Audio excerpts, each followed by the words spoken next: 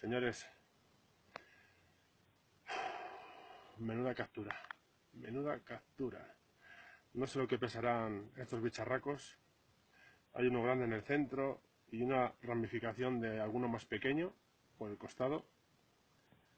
Pero...